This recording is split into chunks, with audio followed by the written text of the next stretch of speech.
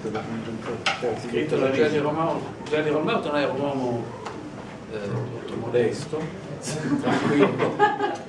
Nel suo biglietto da, da, da visita c'era scritto l'inventore del jazz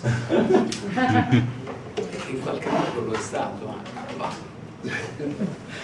ha dato un contributo, ha dato un contributo ecco mettiamola così